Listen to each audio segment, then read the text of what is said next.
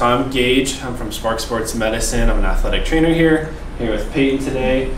We're going to go over some vestibular, some balance exercises, especially for people that are coming off of a concussion, really starting to work on some some rehab exercises and vestibular exercises are typically an exercise that we can tolerate very early on.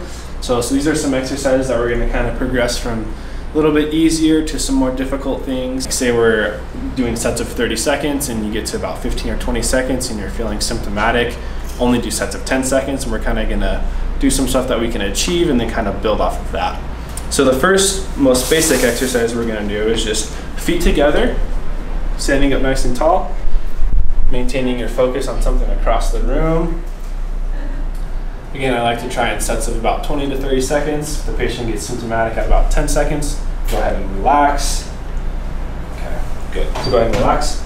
The progression here is going to be towards a tandem balance or one foot in front of the other. So you're going to go ahead and go heel to toe, hands on your hips, find something across the room to focus on. Make sure you're not you don't have all your weight in your back foot. So we're gonna have our weight about 50-50 on our front and back foot. Yep. Good. Go ahead and switch feet. Make sure we do both directions. The progression for all of these exercises, if these get too easy, again, starting to work on some proprioceptive things, we're going to go ahead and close the eyes. That's going to make the exercise a little bit more difficult. Again, if closing the eyes makes you particularly symptomatic, just trying to do sets of maybe five to 10 seconds with the eyes closed. Go ahead and open. The progression from the tandem exercise is going to be onto a single leg balance. Let's go ahead and go up on the one leg. You like to have the foot about knee level, hands on your hips, nice and tall. Perfect. Again, maintaining your focus on something across the room. Good. Go ahead and switch feet. All the way up here. If this gets to where it's pretty easy or not challenging anymore, close the eyes, gonna make it a little bit more difficult. Go ahead and relax. One more exercise that I wanna show is a good challenging exercise. It's gonna be a lunge position balance. So you can go ahead and go into a lunge position. So with this one, you're saying we're just gonna be in a good lunge. Make sure you're, you're at 90 and 90 degrees here. Find a good comfortable position. This one seems pretty easy, and typically it is right off the bat. A good way to make this one more challenging is you're just gonna slide your foot in front of your knee. Good.